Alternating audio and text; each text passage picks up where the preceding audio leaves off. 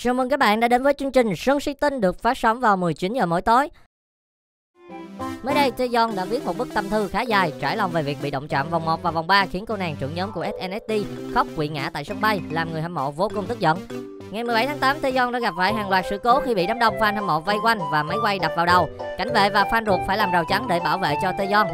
Nhưng fan cuồng đã phá vỡ vòng vây, xô đẩy đến mức bảo vệ phải nhấc bổng cô ra khỏi khu vực hỗn loạn. Sự cố Taeyeon bị té ngã trong thời gian tái ký hợp đồng với SM Entertainment đã khiến cho dư luận nghi ngờ về trách nhiệm của công ty chủ quản này.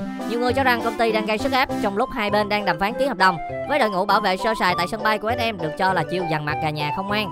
Tuy nhiên một số ý kiến khác lại cho rằng sự việc lần này xảy ra chủ yếu là vì fan quá vô ý thức đã đẩy cô nàng trưởng nhóm SNSD rơi vào tình trạng khốn đốn như trên. Mới đây, cư dân mạng bất ngờ đào sới được một bức ảnh chụp trộm của Hồ Ngọc Hà tại một sự kiện, khiến nhiều người hoảng hốt. Khác với những khoảnh khắc lung linh vẫn thấy, nữ hoàng giải trí đã bị soi một số khuyết điểm trên cơ thể, tưởng chừng như vô cùng hoàn hảo của mình.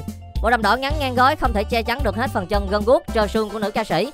Một số người cho rằng có lẽ vì góc chụp và màu ảnh nên diện mạo của Hà Hồ mới bị dìm hàng như thế. Tuy nhiên ai cũng thừa biết Hà Hồ vốn chưa bao giờ sở hữu body có da có thịt, thân hình luôn mảnh mai nên nhiều lúc bị rơi vào những sự cố như trên cũng là điều dễ hiểu. Xuất thân là người mẫu nên hình thể của Hà Hồ luôn được ca ngợi không ngớt. Một số lần khác, Hồ Ngọc Hà đã để lộ cơ thể kém hoàn hảo và bị dân mạng bóc phốt và nghi ngờ bà mẹ một con đã sử dụng Photoshop với loạt ảnh hoàn hảo được đăng tải trên mạng xã hội gần đây. Hành động khiếm nhã của fan Việt Nam khi đón các cô nàng Twice đã khiến cho cộng đồng fan hâm mộ trên thế giới của nhóm này phẫn nộ. Vào sáng ngày 17 tháng 8, các thành viên của nhóm nhạc nữ xinh đẹp của nhà JYP lên đường sang Việt Nam để ghi hình cho chương trình giải trí của đài JTBC. Tuy nhiên, ngay sau khi trông thấy sự xuất hiện của các cô gái, người hâm mộ đã có những hành động phấn khích như động chạm, xô đẩy liên tục.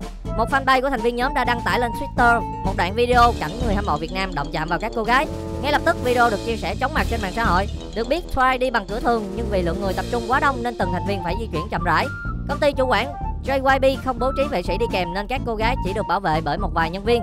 Nên người hâm mộ được fan quá thích khi cố nắm lấy tay của các thành viên trong nhóm, khiến các cô gái vô cùng hoảng hốt. Đây không phải là lần đầu tiên cộng đồng fan K-pop Việt Nam bị chỉ trích trước những hành động quá cuồng trước thần tượng của mình. Cảm ơn các bạn đã theo dõi Sân Suy Tinh và đừng quên cập nhật những thông tin nóng nhất của Sân Suy Tinh bằng cách subscribe kênh FML Channel nha.